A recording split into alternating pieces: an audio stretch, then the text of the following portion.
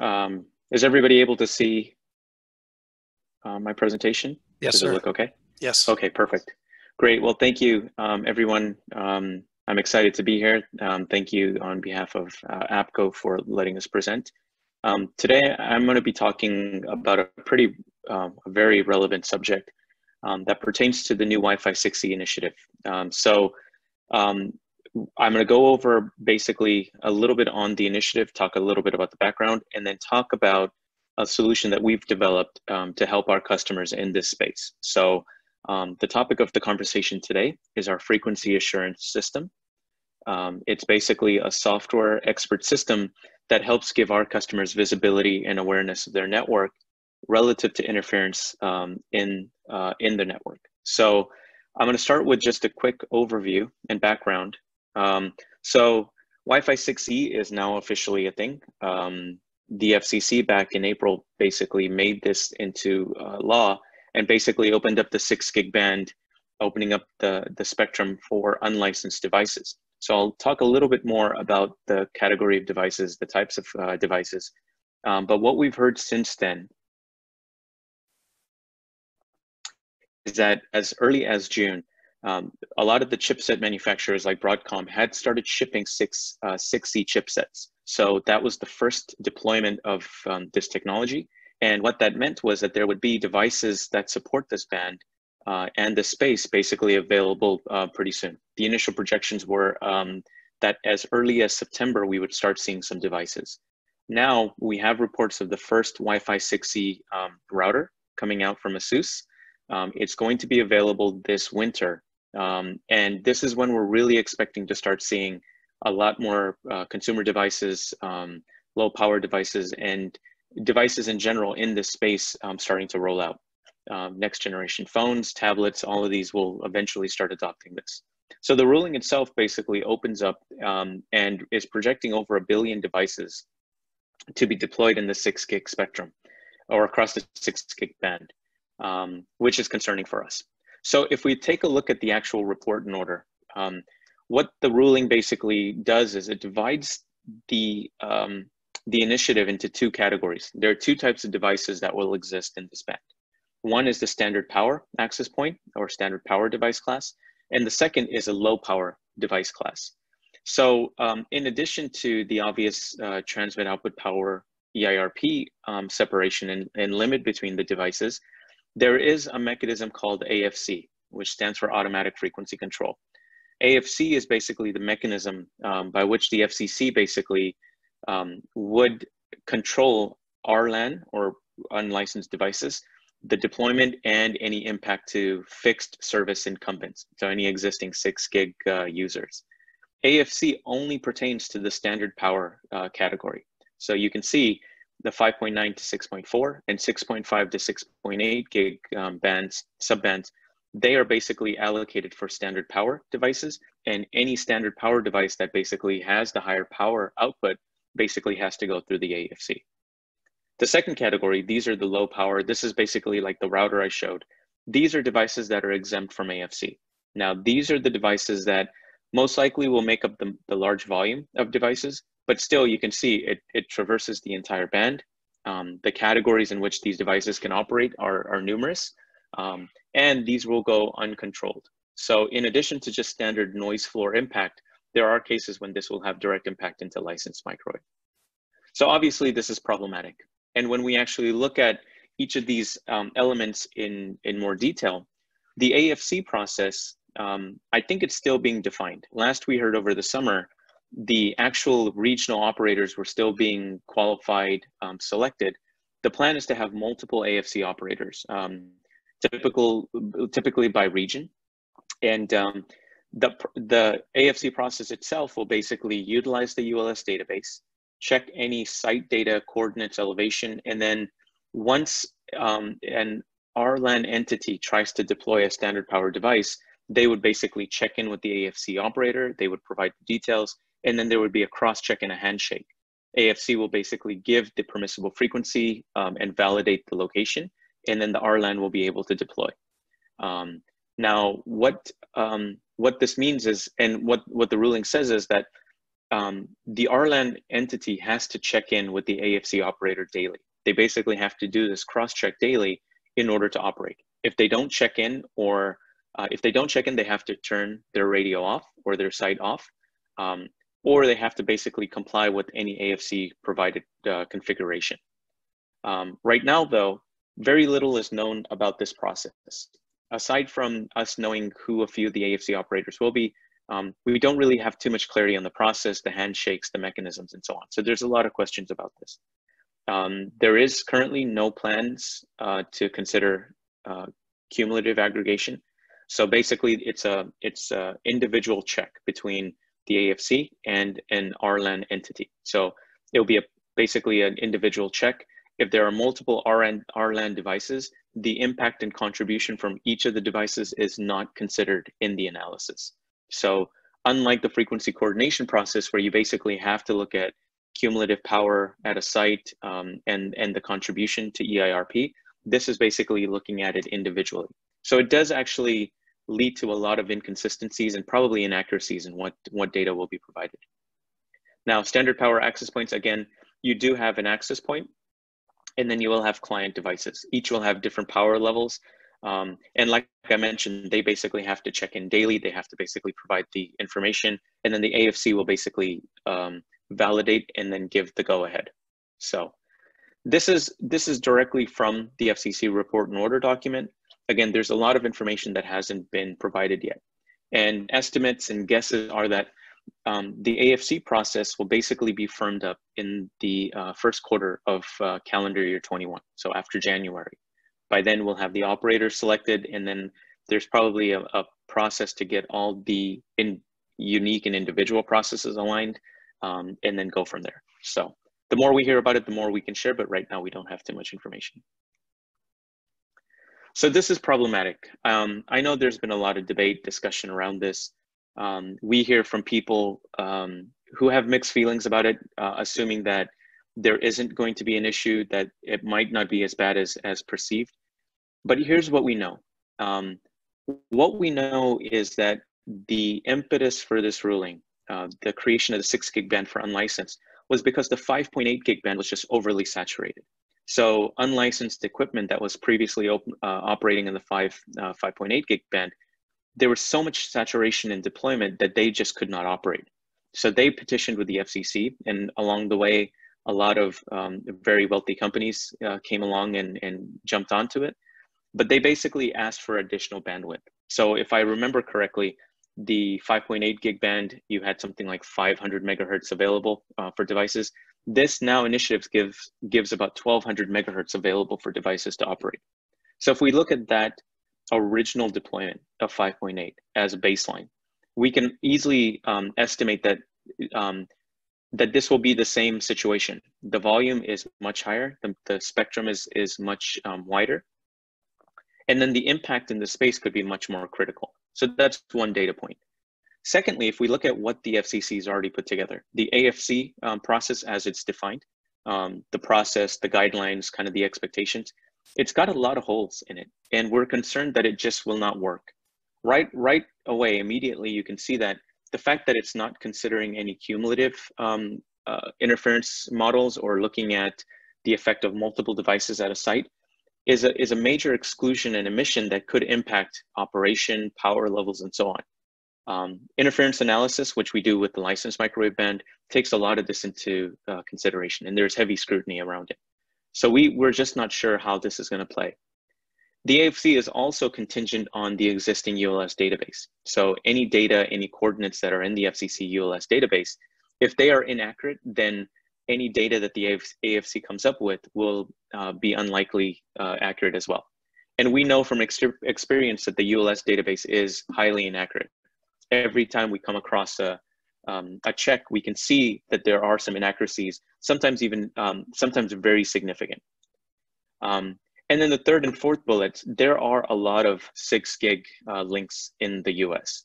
Um, and most of our public safety uh, customers, other mission critical applications, they're all run on six gigahertz.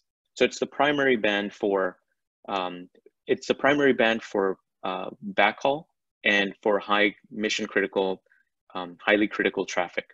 Lower six is also the primary band for higher capacities. So you have very high capacity trunk links basically that are traversing the country in this band. Um, so it's a concern. And then radios inherently have not been able to do anything with interference. They, they were designed to basically assume that interference doesn't exist. Part of being in the licensed spectrum and using part 101, having the frequency uh, interference analysis process, was that you would operate without having to, to worry about interference. So there really isn't much that the radios can do natively today. So this is where we, we started looking at the FAS and, and looking at ways that we can address this issue. There's obviously a lot of blind spots that we have going into it and what we can do to help our customers in the process. So if we take a look at um, interference currently, traditionally, if there's any issue in the path, if you have a microwave link and there is a drop in RSL or there's a, a status alarm or the link goes down, you're basically um, given a set of alarms, status, um, maybe some PCR data that shows you graphically what the link looks like. And then you as as the customer have to basically trouble well, and not analyze before you troubleshoot but analyze what the root cause could be. And you go through the different steps. You basically look at is it a path issue? Was it a fade issue? Is it an equipment issue is there some user error or something that happened so you have a very um, manual troubleshooting process that you have to follow if there is any interference today by the time you figure it out you basically are looking at alternatives you, it's a reactive process you're not sure what what uh, is causing it, where it's coming from, um, and then what's the the severity of the impact. Um, so the reactive nature of this is bad, and we're trying to address that. Secondly, there is no reporting process. Right now, we do not know what the remediation process with the FCC will look like. Most likely, it will require some type of reporting, um, some way to indicate that there is a bird uh, impact traffic uh, issues, uh, and so on. But we, without having that clarity, we're just not sure what it is specifically. But we're confident that any type of remediation will require some type of data, some reporting, baselining. What does the current network performance look like? How much interference is there currently? And then over time, what does the impact of these additional devices look like when we when it comes to interference? So these are again a couple of blind spots uh, related to this um, that we were seeking to address. One is give our customers a little bit more visibility so that it, the process is more proactive. Two, simplify basically the way that um, the issues are handled. And then three, have a way that we can baseline and report the issues just so later on when we do have a little bit more clarity about the remediation, we have this data collected and we can actually use it. The ruling was made um, largely because of analysis, theoretical analysis, ideal conditions, and so on it's time that we countered that with actual data and we'll be able to get field data from, um, from this system. So what we've introduced is something called FAS. Uh, again, it stands for uh, Frequency Assurance Software. It's basically an intelligent algorithm that sits on top of our uh, monitoring system. And what it does is it collects data from the radio, not normal data, regular uh, elements like RSL, signal to noise ratio, um, bit error rate, um, metrics that the radio has often has always collected. What we do is we apply a set of algorithms that basically then an analyzes these metrics to basically identify one, the presence of interference, two, the type of interference, and then three, the severity of the interference. So you can kind of see in the screenshot, the green nodes represent um, no issue. They're, the paths are running clean. There's no interference. Everything is okay. The, the highlighted parts, the, blow, the parts that have been magnified, you can see out of those four nodes, three of them have interference. Green represents no issue. The yellow represents some interference, but not enough to basically cause an issue. In this case, you basically have interference that's been overcome by either the radio's adaptive modulation or FEC, where it's correcting some of the, the issues into the modem. And then the items in red represent some critical issues. This is where the link is lost, it's locked up, um, the site is down. So these are severe interference issues. So this right away will one, give you the visibility, and then two, it alleviates the process to have to troubleshoot and spend time to try to figure out what it is. Now, if, if I go back to the original example, when you're troubleshooting for um, a path issue, interference is usually right at the bottom of the list. So you rule out everything else before you say what else could remain and then it's interference. So you're spending a lot of time trying to figure out what the root cause could be. This gives you real time visibility into the network. Now, um, part of the reporting is uh, data on the actual network. So this kind of shows you, this shows you an example of one of the dashboards that's available. This shows you performance of the network. The pie chart basically represents the time um, in each alarm level. So we have three levels of alarms, level one, two, and three. Basically, is it uh, present but not uh, impacting? It's present and it is degrading traffic, or three, it's present and it's severe. So the colors basically represent the different uh, levels. And then you have basically the charts at the bottom that show you uh, on um, the day and time in which you had different amounts of interference. And then the blue chart basically how many radios or inter, uh, interfaces basically had that inter, uh, interference. So this gives you a nice graphical way to see that you had basically um, a portion of your links affected, all of your links affected, um, how many of your links affected, and then to what level. Were they severe? Were they um, minor? What's the situation? So this is part of the reporting that we will offer is that you'll be able to track this and be able to baseline on day zero before the, um, the ruling or day one on the first day, and then basically over time, be it a month, every week, six months, it could be your baseline reporting. So that if you do see some issues down the road, then the onus of correction is not on you. You're basically able to pass it on to the AFC, RLAN, uh, and possibly the, the FCC. So this is this is um, just a graphical view. It's just to kind of show you what um, what we can do with the FAS system. And this is basically in addition to this screenshot or view where you're basically getting real-time updates. So in terms of benefits of the FAS, one is that it gives you visibility of the network. You have now the awareness and it's proactive. So now you're basically able to understand how your network is performing. And it's not just about knowing when your link is down. The awareness of the level one and two uh, issues basically give you uh, awareness of a potential interference uh, element that could be present and causing issues before it becomes detrimental. So if there's a path with the site issue, um, you could then start doing some of the remediation, be it with external parties, doing internal research and so on it just, again, addresses that blind spot that we currently have. So that visibility will help. Um, the data will be useful once we get into remediation. And this data will be achievable without having to spend hours and hours of trying to correlate uh, data on your own. So it will save you time, money, um, and labor costs basically in having to do it alternatively. Alternatively, and I'll show you um, this when we get to the lab part of it, is you need to be expecting interference and with a spectrum analyzer at the site and be able to measure basically any outside signals that are not part of your wanted signal. Um, or you take my other alternative, which is you do the root cause analysis and try to rule out everything else. Um, and then the third item, because this is an application on our ProVision Plus element management system, you can have this visibility anywhere. This is a web-based um, uh, system, so you can basically be um, on your phone, on a tablet, be able to access the data anywhere as long as you have a connection. So this is also, it's a system. So right now we've released this initial um, system with basically the awareness and reporting uh, and some of these capabilities. We also have a, a, very extensive roadmap tied to this to be able to do additional functionality. So this is step one in, in this direction that we're trying to get out into the market to give our customers some um, uh, systems, tools, ability to basically counter some of these issues. Now what I'm gonna do is I'm gonna go through some of the testing that we've done. So I wanted to start with, um, I'll talk about the algorithm, talk about the lab testing, and then we'll go into the field testing. So I mentioned this a little bit before, is that um, in terms of interference scenarios, you have um, a couple of different common scenarios.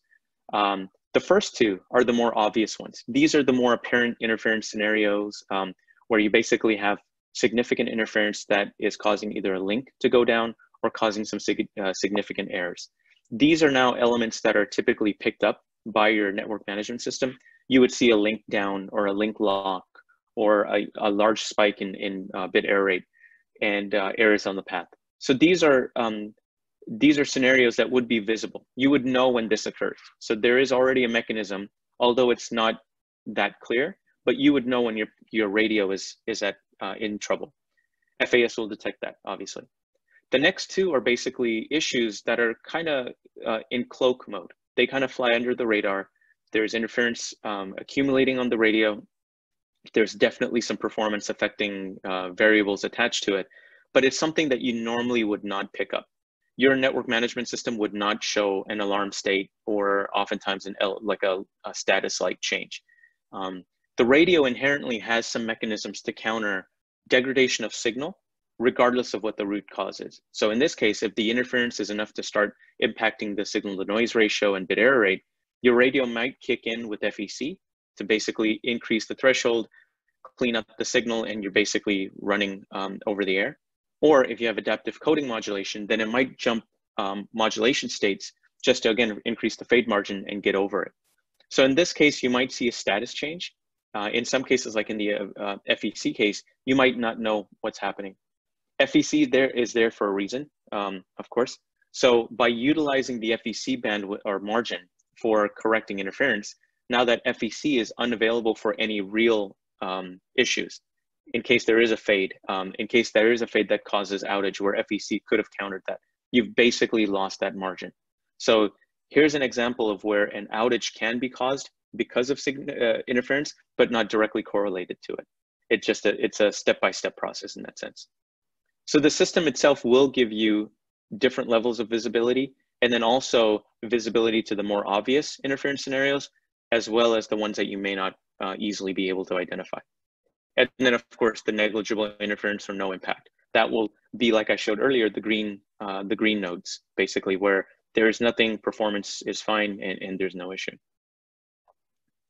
And the way we actually figure out um, the presence of interference is by, again, taking um, the, the radio metrics, radio data that we're collecting, and then basically running it through some um, intelligent algorithms.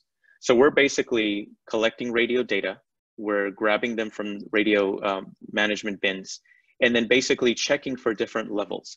We're checking RSL, is it faded or not? Then we check for link alarms, we check for errors, and then we check for um, signal to noise ratio uh, degradation, and then check if FECs come, uh, come up. So it's basically, if you look at it, this is basically the flow chart of how you would manually troubleshoot um, the link. Is if you had, uh, if you were using a network management system and you saw uh, a site go red, then you would basically go through these same steps and start checking. Okay, well, what was my RSL? Did I have any link alarms? Was it hardware or not? Um, were there any errors? What was the SNR? So think of every one of these steps as time that somebody would physically have to spend trying to correlate the data.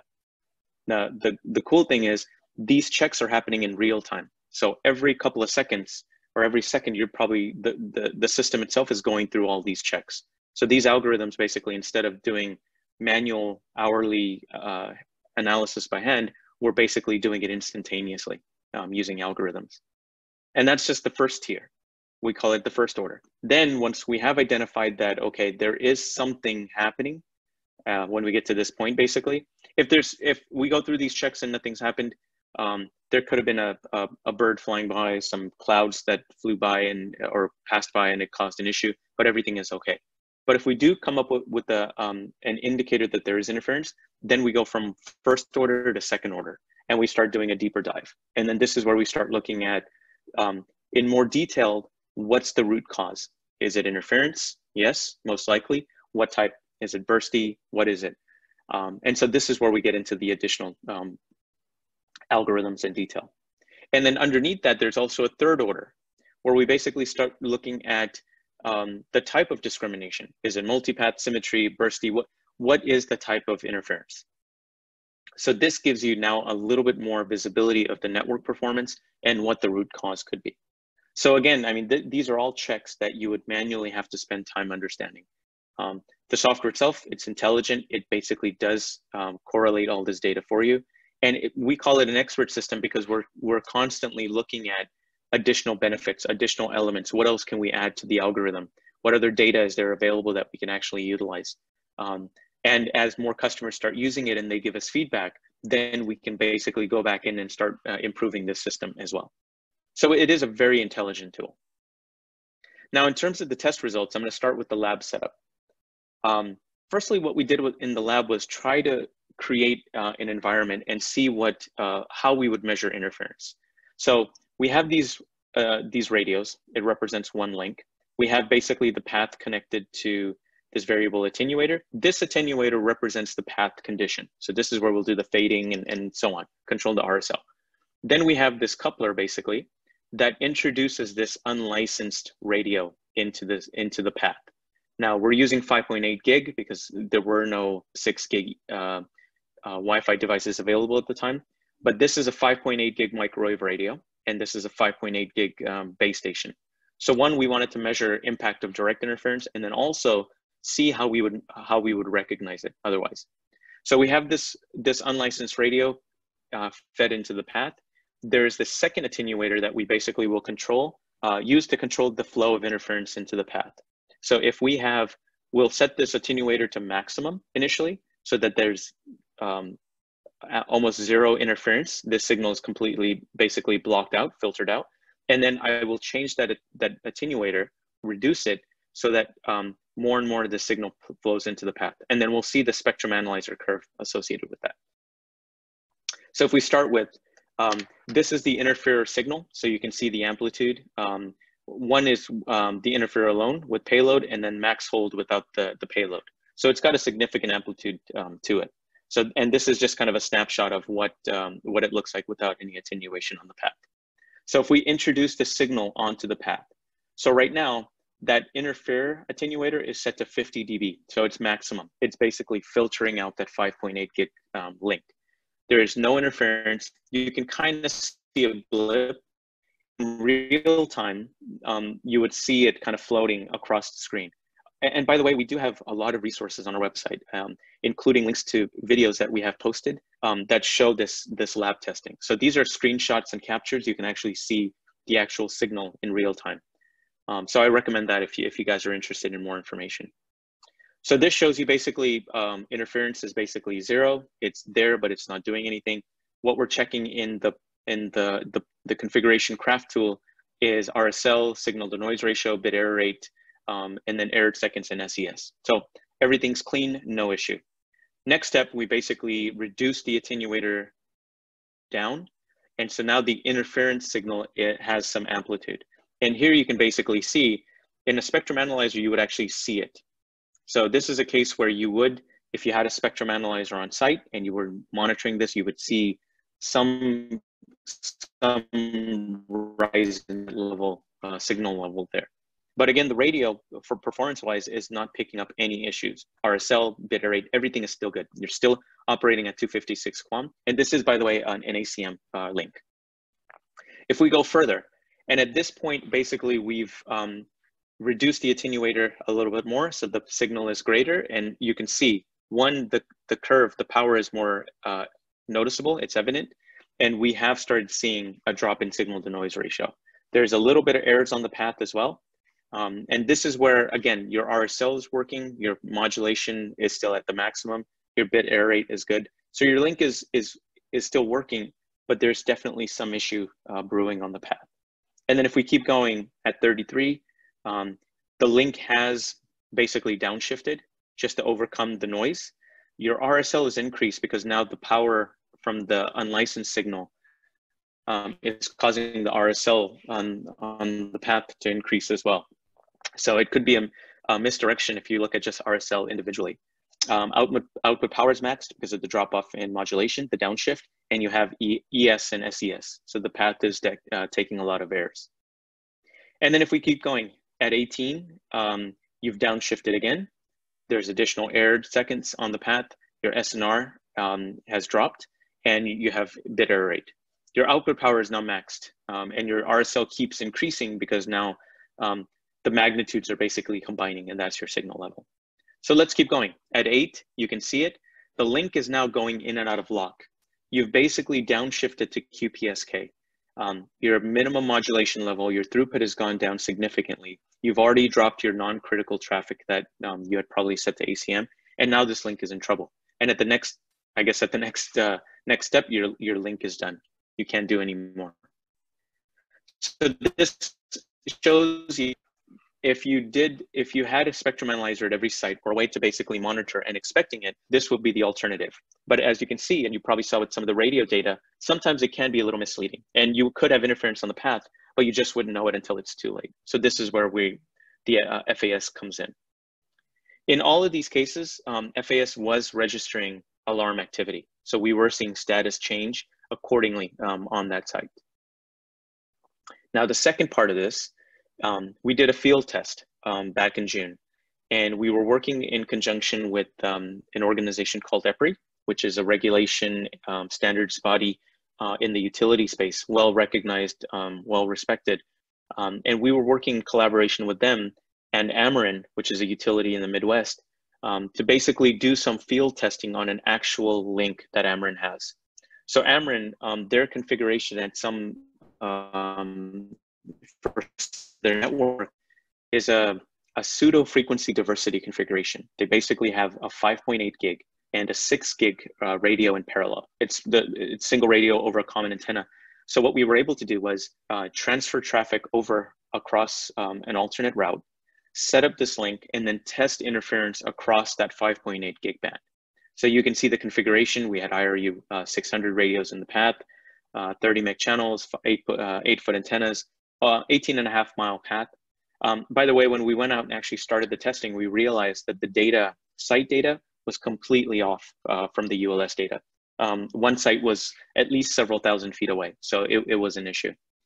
Um, and then we used a similar setup. We used a 5.8 gig radio. Um, test equipment uh, was basically um, the same as what we had in the lab. And we basically drove the path um, back and forth and tested at various points.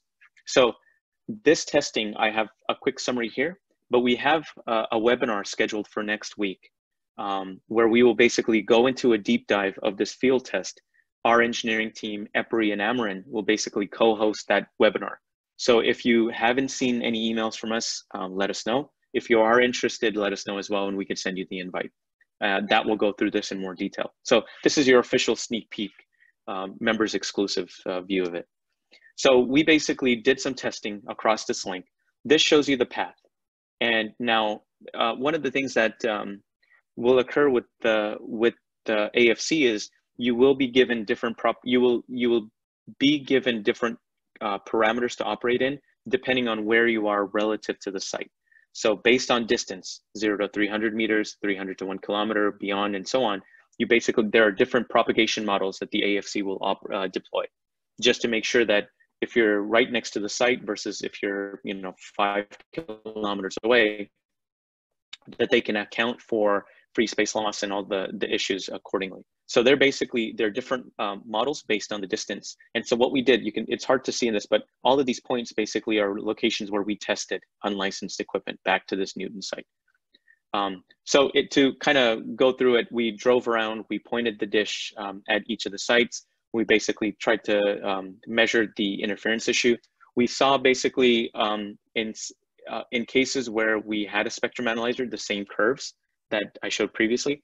And then we took the data back and then um, checked it against the FAS. And so this table, um, not meant to be uh, something to that I would expect you guys to read, but it basically shows all the data points that we tested, um, how we tested it, what was the configuration, what was the power level. So we tested the interferer at different power levels as well to emulate standard power, low power, and so on. In every case that there was interference, we were seeing a um, we were seeing that event register on FAS. So the, this table summarizes it, and if I actually go to the next table, um, it tells you measuring both the wanted signal, which is this set of um, uh, data or columns, and then the interferer and what was happening. So at test point A, um, all the way down to E, we were basically testing. In every one of these cases where there was interference, we were able to register it um, on FAS. There was one scenario where we did not see interference at all um, because of the distance, power level, and so on. But at every other combination at the site, we basically saw either a level one, level two, either bursty or, or some other type of interference. So it validated a couple things. One is that um, the, the FAS does register interference on a live link, and we were able to confirm that. And that too, that um, in the simplest of forms, if we had unlicensed equipment on the path, it does register interference. Um, and I know the argument about um, the proximity of devices to the site, the power levels, the exclusions. This testing basically um, reaffirms that it's still going to be an issue. That even on the path, and especially the longer paths where you have an accumulation of errors on the link, it can it can definitely degrade a signal. So this is a very high level uh, summary of it. Um, again, I, I, welcome everybody to attend um, the webinar next week because that will be a really, really deep technical deep dive into, uh, into the analysis. And then the final slide I have is just a, a key takeaway. And it's, it's pretty evident um, that we did see um, impact um, across, across the board. All the different modulation or uh, interference levels that we tested, I think there were a handful that we did not see any issue. Um, but we we saw issues anywhere from 16 dBm on on the radio side, on the interferer side, um, and definitely catastrophic when we got above 22, which is basically it represents your low power and your standard power device classes. Um, and we saw interference on both the side lobe, back, and in the main lobe uh, as well. So this is again, I mean, there depending on the situation, there are also some other more expensive ways to address some of this issue interference on the side lobe, if you do have a more side lobe friendly uh, antenna, you can address some of that. But we were seeing issues in all the different um, angles of the radio. So you, you are the antenna. So even if you're able to address some of these cases, there are still issues on the back and front lobe, the boresight uh, um, angles as well on the antenna. Okay, we did this testing over about a day. Um, the analysis was again real time. Um, and if we had done this manually, it would have taken several days just to correlate the data, check it, reconfirm it. Um, and then by then the link would have been down or something more worse would have happened. So that is my final slide. I know there's probably a lot of questions. So um, at this time I could open it up for Q&A